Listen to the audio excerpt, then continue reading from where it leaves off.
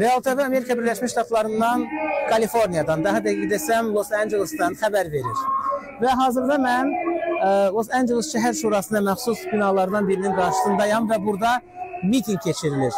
Miting e, təxminən yarım saat əvvəl şəhərin downtown mərkəzindən bura yürüşlə başlandı və hazırda e, demə binanın qarşısında bəyanat oxunur.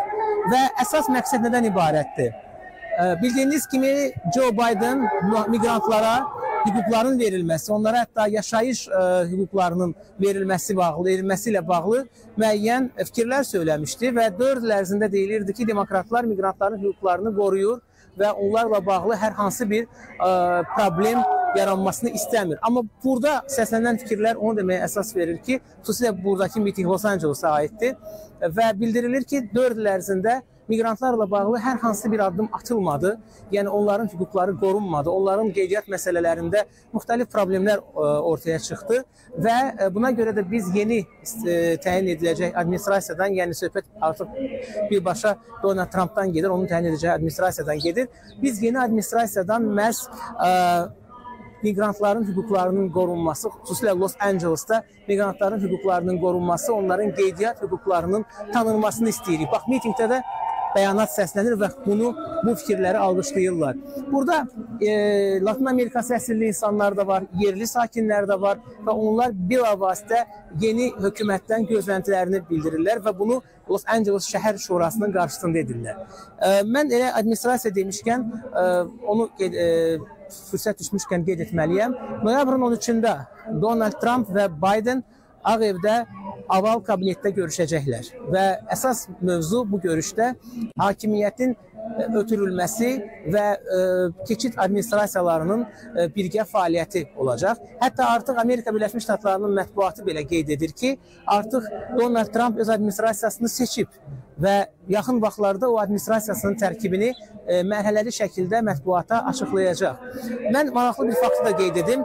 Ə, Fox 11 buranın yerli televiziyası bir ə, neçə ə, saat öncə belə bir məlumat yaydı ki, ə, heç demə Kaliforniyada demokratlarla respublikaçıların bərabərliyi mövcud deyilmiş. Çünki Kaliforniyanın əsas hissələrində insanlar Donald Trumpı dəstəkləyib. Bax elə bu gördüyümüz mənzərə və bu ə, hazırki miting ə, şübhəsiz ondan xəbər verir ki, Donald Trumpa hazırda ümidlər daha böyükdür. Xüsusilə Los Angeles ə, əhalisi tərəfindən istər yerli, istər qeyri ə, demək ə, belə deyək, e, yerli əhali, yəni e, miqrantlar tərəfindən böyük ümid var. Və beynəlxalq siyasətə gəldikdə isə mən bir e, demək xəbəri də çatdırmalıyam.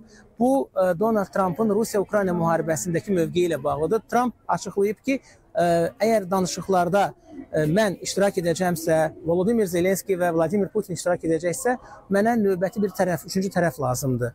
Yəni bizim üçün müəyyənləşəcək üçüncü bir tərəf lazımdır və şübhəsiz ki, bu tərəf məhz mənim kimi neytral mövqedən çıxış etməlidir. Yəni hər iki tərəf üçün faydalı işlər görməlidir. Düzdür, mətbuatda müəyyən fikirlər yayılır və o fikirlərdə hətta Avropa İttifaqının müəyyən qüvvələrinin yaxud BMT-nin müəyyən qüvvələrinin təhlükəsiz neytral zonada yerləşdirilməsi məsələləri var. Amma bunlar hələ ki öz əksini tapmayıb və yerli telekanallar, yerli media Amerikada mütəmadi olaraq Donald Trampın Rusiya-Ukrayna müharibəsi ilə bağlı çox güclü strategiyaya məxsus olduğunu, malik olduğunu deyirlər və onu onun yaxın günlərdə artıq icraya başlanacağını bildirirlər. Bəli, Mən Los Angelesdayam və ə, arxamda gördüyümüz bax bu binanın qarşısında miting davam edir. Miqrantlar 4 il ərzində tanınmayan hüquqlarının yeni hökumətdən tanınmasını istəyirlər. Yəni ə, öncə də deyildiyi kimi miqrantların hüquqları sanki tanınırdı. Onların hüquqları bağlı hər hansı bir problem yox idi, qeydiyyatı bağlı da problem yox idi, amma bildirilir ki, Los Angelesdə ə, xeyli sayda, həddindən artıq miqrant var ki, onların hüquqları tanınmalı və onlar Los Angeles County-də, yəni Los Angeles dairəsində qorunmalıdırlar. Məndən hələlik bu qədər. Kamran Qasımov, Real TV, Kaliforniya. Thank you. Whoa!